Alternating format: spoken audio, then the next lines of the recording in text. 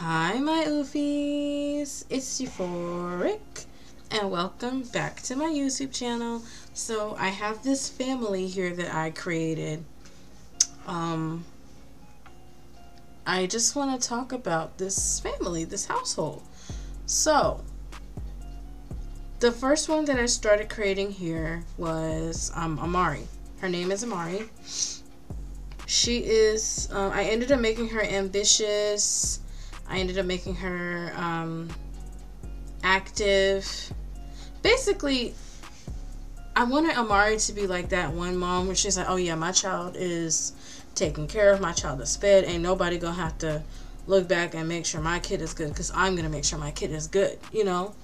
Amari, if I feel like Amari is like the type of parent where she's like, she tells her kids like, if you need me, you better call me. Like, if you're at a slumber party, I don't care if it's 2 in the morning, 3 in the morning, 4 in the morning, you better call me if you need me to come pick you up because I will come pick you up, sweetheart. I will come get you.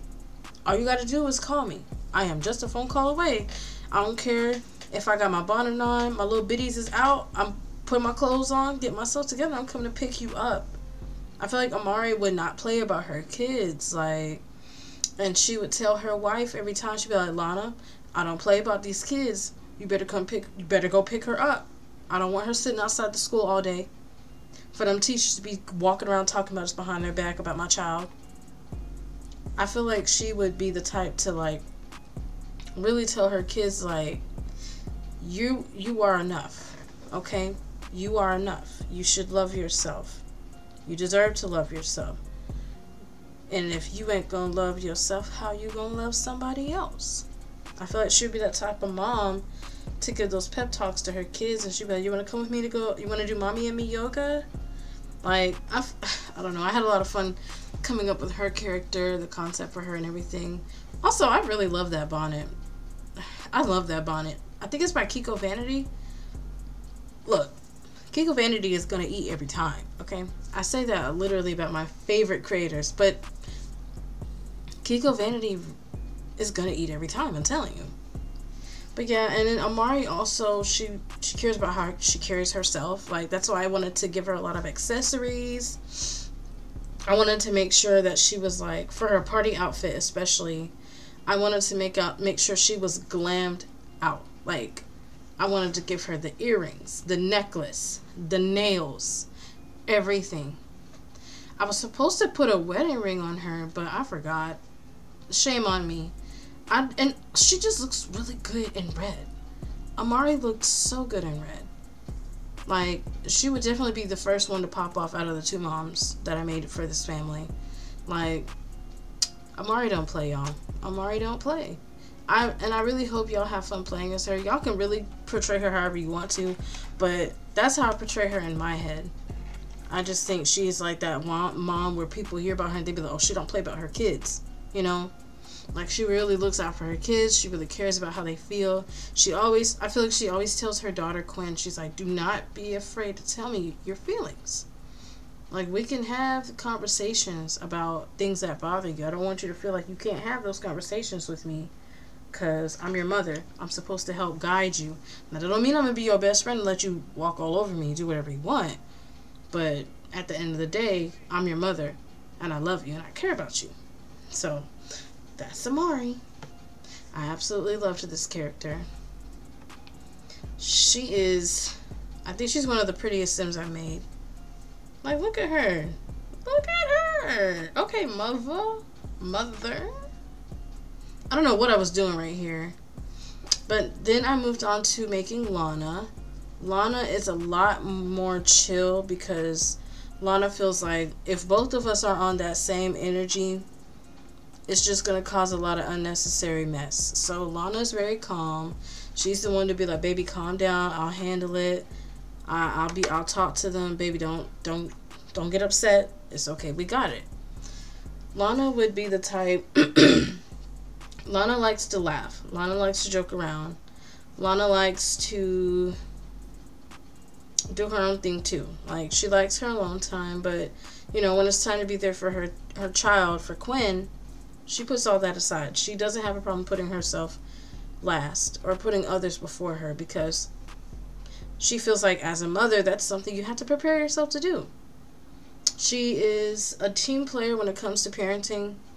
Like when they first had Quinn, she would help with like, you know, trying to get Quinn to sleep. You know how parents are when they try to put their baby on a sleep schedule. Lana was like 110% contributing. She would always tell Amari like, "Give me the baby, let me hold her. You go take a break, go go go outside, get something to drink, drink some water, watch some TV, just relax, and I'll take care of the baby." Lana is big on taking up responsibility. Like, if there's something going on, there's any issues, Lana has no problem being like, baby, I got it. Or like, babe, I can I can take care of it.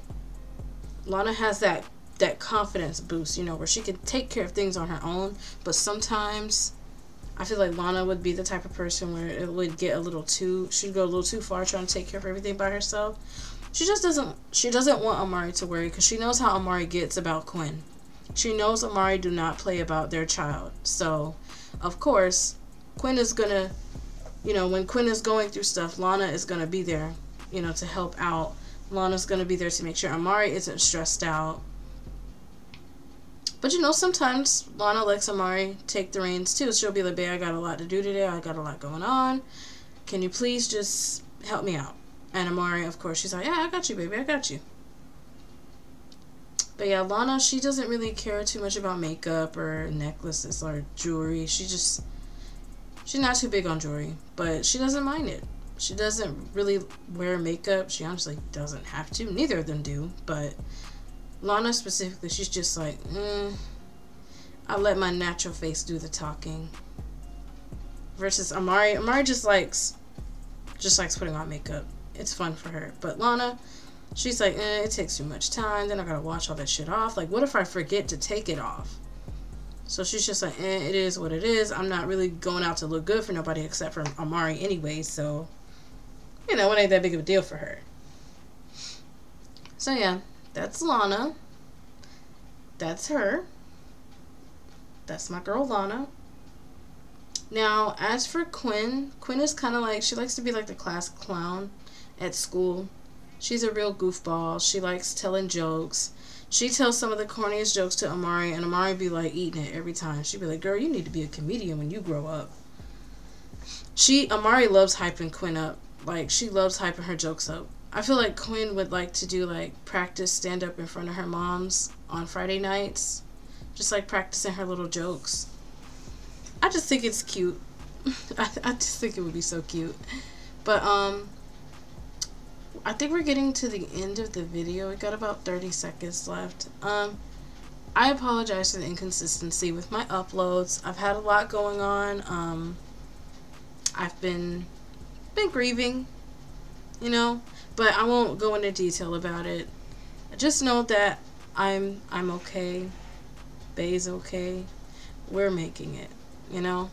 But um, thank you guys so much for watching. Y'all have a wonderful day, afternoon, or night. And I'll see y'all in the next video. Mwah. Bye.